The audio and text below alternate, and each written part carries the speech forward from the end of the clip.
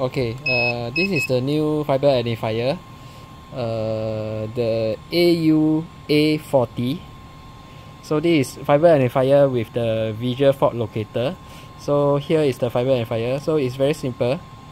You just have to press once to on, and for visual fault locator, right? You just press here.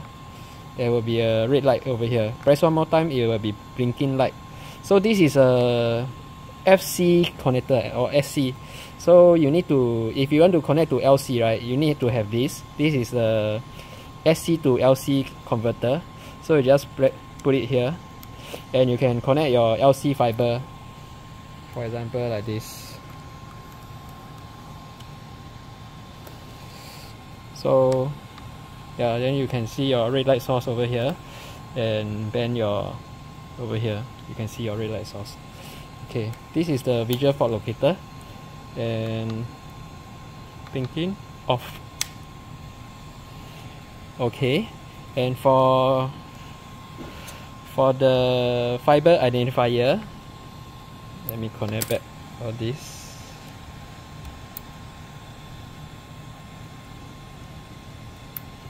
Okay it's very simple. It's actually just uh, put your fiber inside this uh, socket so and press it. So this is the there's a pulley here. So you just press. So when you press then you can you can see.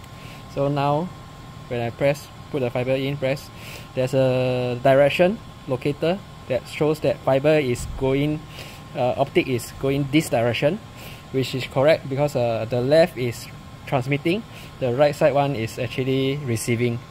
So if we try the other side